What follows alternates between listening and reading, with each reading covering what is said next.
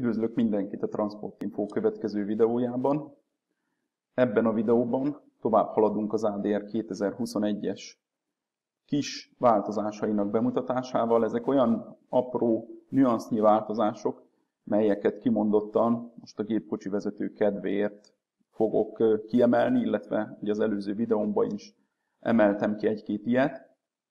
Nem kell alapvetően megijedni, Egyrészt azért, mert a Covid-ra való tekintettel a 2021-es változások sem lettek olyan nagyok, tehát nem nagyon tudott dolgozni maga a munkacsoport sem, az ADR munkacsoport sem, ezért olyan túl sok változás nem lett 2021-re, illetve ezeket a nüansznyi változásokat mire, az, amire a hatóságok folyamatában le tudják követni és esetleg ellenőrizni, addigra már rég túl leszünk a 2023-as változásokon is, de jobb, hogyha ti tudtok róla, előfordulhat, hogy hatóság, bizonyos hatóságok, bizonyos országokban esetleg bizonyos emberei elég jól figyelik ezeket, és akár számon is kérhetik. Innentől kezdve pedig a ti zsebetekre, a gépkocsi vezetők zsebére megy a dolog, mert alapvetően ezek az ellenőrzések az útszélén történnek, és nem jellemző, hogy a feladót ellenőriznék a feladás pillanatában kellene ez elkapni, vagy legalábbis amikor valamilyen hiba van, akkor a feladót is elővenni, de mivel a gépkocsi vezetőnek a legtöbb esetben ellenőrzési kötelezettsége van, azért őt a legegyszerűbb elővenni. Na de mielőtt belevágunk megint ebbe a kis apróságba, megnézzük az elérhetőségeinket, ahogy szoktuk, ha bárkinek bármivel kapcsolatban segítségre van szüksége, akkor itt teheti fel a kérdéseit. Alapvetően a Facebook ADR tanácsadó nevű zárt csoportjában vagyunk elérhetők. Több tanácsadó is, és itt arra aránylag gyorsan kap választ a kérdésére az érdeklődő. Közúti közlekedés, közúti szállítással kapcsolatban, de előfordulnak tengeri veszélyes áruszállítással kapcsolatos kérdések is, mindegy, tett föl a kérdésed, és hogyha tudunk, válaszolunk, ha nem tudunk, akkor én általában azt szoktam csinálni, hogy megkeressük a megfelelő forrást, vagy lehetőséget, ahol lehet jól kérdezni.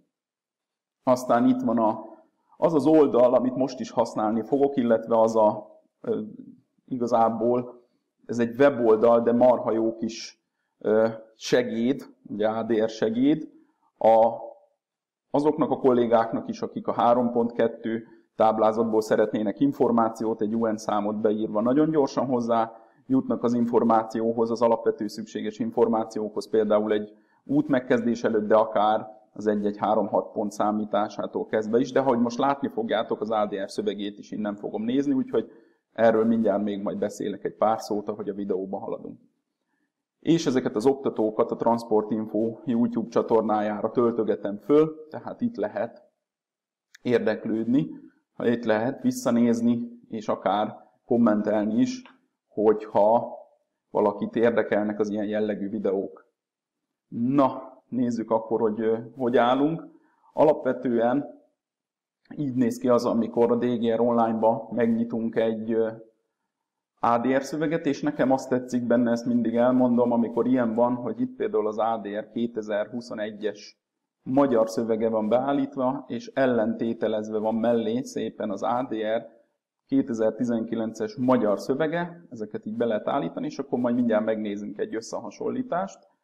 De alapvetően, ha megnézitek, a DGR Online-nak az ára sem vészes, tehát egy komolyabb ma már talán nem is komolyabb ebédnek az ára, és ezért két éves előfizetést kaptok, de itt emellett az ADR shopban egyébként több minden mást is meg tudtok nézni, tehát a DGR online-nak nagyon sok terméke van, akár különböző bárcáktól kezdve a, a bármilyen távoktatási tematikát át, bármilyen adatbázis eszközök, úgyhogy érdemes végignézni, hogyha valaki erre gondol, és ezzel kapcsolatban van valamilyen igénye.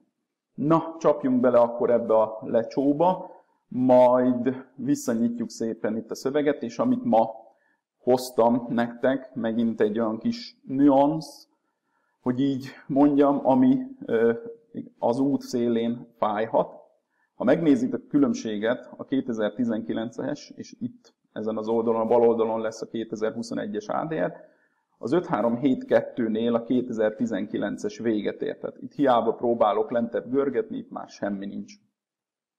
Ugye az 5 ötös rész van megnyitva nekem, viszont a 2021-es már folytatódik, tehát itt 5-5-3-7-2 a vége, itt pedig az 5-5-3-7-2 után kezdődik egy kis meglepetés, az 5-5-4. Miről van szó? Tegyük föl, hogy te hűtőzöl, semmi között az ADR-hez, húst szállítasz, és ennyi. Egyébként a hűtőkben a datalogger alapból is benne van, de mondjuk, és lehet, hogy nem is tudsz róla, a feladó is belehajít egy ilyen adatrögzítőt, ami például a hőmérsékletet rögzíti, amit majd a címzet kivesz, és akkor kiértékeli, mert lehet, hogy nem bízik a fuvarozóban, hogy ez a hőmérséklet valóban úgy volt végig szépen, és nem volt felmelegedés a dobozban, illetve nem volt extrém magas vagy alacsony hőmérséklet. Ugye ilyeneket már láttunk. Ez egy eszköz, de sokfajta eszköz lehet, ami belekerülhet a te kis szállító járművedben úgy, hogy akár észre se veszed. Mi van akkor, hogyha a feladó úgy rakja be és úgy zárja le, hogy bele se tudsz nézni. Nagyon sokszor zárt rendszerű rakodás történik, ahova a gépkocsi vezetőt be se engedik. Innentől kezdve lesz egyébként nagyon fontos a CMR fenntartások jegyzéke, az is megérne egy külön misét, hogy rögzítsd azt, hogy nem lehettél ott a rakodáskor, effektíve nem tudod, mit került be a raktérbe, tehát ezért sem minőségi, sem mennyiségi átvétel nem tudsz, és adott esetben bármilyen ö, cuccost, hogy én szépen mondjam, berakhattak oda a raktérbe, de nem is tudsz róla. Főleg, hogyha leplombálják utána, akkor meg pláne. Na most nézzük ADR szemszögből, mi van akkor, ha bármilyen eszközt oda behelyeznek. Azt mondja, hogy a küldeménydarabokra, egyesítő csomagolásokra, konténerekre és rakterekre, ugye itt meg is jelent a raktér, de hát minden más szállítóeszköz esetében is igaz lesz, vagy ezekben elhelyezett, a szállítás során használt, vagy használni szándékozott, azért mondom, hogy ez gyönyörű lesz, eszközökben lévő veszélyes áruk. És ugye, ha elektronikusan működik az kütyüd, és, majd itt látni fogod, lítium is, akkor már meg is érkeztünk. A küldemény darabokra, egyesítő csomagolásokra, konténerekre vagy rakterekre, vagy ezekben elhelyezett eszközökben úgy, mint adatrögzítő, rakománykövető, lévő veszélyes árukról van itt szó, például lítiumakkumulátor, üzemanyag, cella, kazetta. Az ADR előírás közül csak a következők vonatkoznak. Tehát alapvetően nem kell megírni, egy ilyen eszköz bekerült a rakteredbe, akkor nem kell átböngészned az ADR 1600 oldalas előírásait, hogy na most akkor vajon mi vonatkozik rá, hanem azt mondja ebben a részben, hogy csak ezekre kell figyelni. Egyébként ez épp elég, és épp elég tág fogalom lesz ahhoz, hogy fejfájást okozzon. Az eszközt a szállítás során használják, vagy szándékozzák használni. Na, ez egy szuper jó mondat, mert vagy megy az az adatrögzítő, de hát ki tudja. Vannak olyan zárt rendszerű adatrögzítők, hogy soha meg nem tudod, hogy működik, vagy csak szándékozott használni, tehát azt is mondhatod, hogy hát majd, majd használom. Találnak egy ilyen eszközt a rakteredbe egy ellenőrzés során, ADR szemszögből vizsgálhatják azt is, hogy használod, vagy használni szándékozod. Az eszközben lévő veszélyes árunak, például a lítiumaksi üzemanyagcella kazetta, az ADR-ben meghatározott minden vonatkozó gyártási és vizsgálati követelmények nek meg kell felelniük. Na, ez lesz egy nagyon szép kérdés, hogyha egy ellenőr talál nálad egy ilyen adatrögzítőt bent, egy nagyon jó kiképzett ellenőr, aki benéz a hűtőbe például, és megkérdezi, hogy na vajon ez az eszköz, ez a hőmérséklet rögzítő, megfelele minden vonatkozó gyártási és vizsgálati követelménynek. Mert ha vizsgálat, akkor a C pontot is megnézzük. Az eszköznek el kell viselni azokat az igénybevételeket, ütődéseket, amelyeknek rendes körülmények között a szállítás során ki van téve. Na, ez mind olyan tágfogalom, hogy ezt bizonygatni, hogy ez az eszköz, ez megfelel az ADR összes vonatkozó gyártási és vizsgálati követelménynek, az gyönyörű lesz, hogy ezeket ki adja ki, hogyan lehet ezeket bizonyítani, mindenfajta, akár, csak most hasz, hagy mondjam azt, hogy egy ilyen datalogger lehet Kínából valaki megrendelt, ki fogja megnézni, hogy az ADR összes vonatkozó előírásainak megfelel. És teljesen mindegy, hogy egy nem ADR-es autóból beszélünk, tehát itt nem arról beszél, hogy neked ADR-t kell szállítani, és ha ADR van, tehát eleve veszélyes áru van a rakományot között, akkor kell ezekre figyelni, hanem ugye ezt nem kötötte ki, tehát ha már ilyen datalogger van, ha már ilyen eszköz van, akkor meg is érkeztünk, ezeknek elméletileg meg kell felelni. Az ilyen veszélyes áru tartalmazó eszköz rakományként történő szállítása során Ebbe azért nem megyek bele, mert nyilván, hogyha ilyen eszközöket szállítasz rakományként, tehát te például egy rakomány dataloggert viszel, akkor az már egy teljesen más történet lesz. Ugye ott már a táblázatból ki fogod választani a megfelelő tételt, és annak megfelelően ADR-ként fogod szállítani. Tehát most nem ez a lényeges, hanem a gépkocsi vezetők szempontjából az a lényeges, hogy ma már ezeket a kütyüket lehet, az egy nagyértékű posta, stb. mindenféle eszközzel ellátják, a raktérbe behajítják, fölteszik egy paletta tetejére, és szépen utazik vele. Na most ezekről jó, ha tudtok.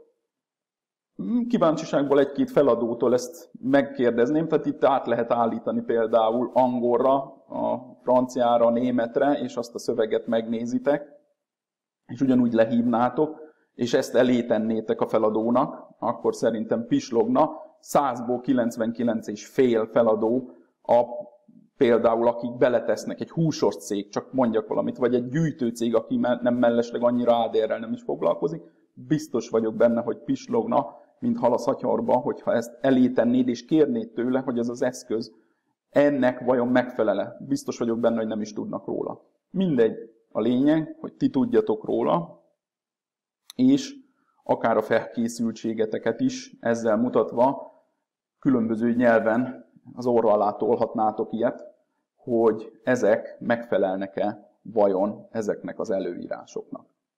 Jó, ebben a mai videóban erre a kis változásra szerettem volna fölhívni a figyelmet, ami nem kis változás, hisz a kijelölt rész ugye látható módon 2019-es ADR-ben nem volt benne, a 2021-es ADR-ben megjelent és nem is feltétlen veszélyes árufuvarozásra van kihegyezve, tehát mindenki, akinek köze nem volt az ADR-hez idáig, legyen az feladó, fuvarozó, mert még egyszer mondom, egy példa hús szállított, azoknak is az ADR részben, tehát az ADR előírásának legalább ezen részében gondolkodnia kell.